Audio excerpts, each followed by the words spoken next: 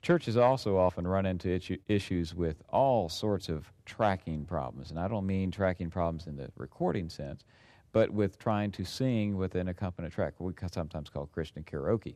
Can take up five or six channels in a typical console. Mm-hmm. Can you show us how you solve that problem, Tom? The way that we solve that problem in the Sanctuary Series mixer is we, on each of the stereo channels, have a selector switch that allows you to select stereo playback, left or right. To this date, they have not figured out which track accompaniment should be on, so this makes it very easy for the operator to select that track. Additionally, what we added is a monitor blend control. And this is a really unique feature. It is something that really lends itself, in particular, to children's choir. Hmm.